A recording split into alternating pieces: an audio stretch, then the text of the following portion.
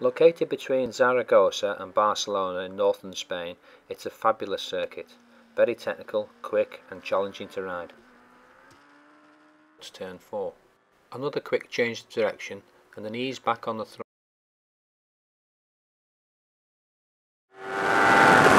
Drops away dramatically. So aim to get most of your heavy braking done before the tipping point with only a light trail to better, but you have to make the apex, which is critical which is just onto the back straight in time for a rest. Okay, let's see that run at normal speed.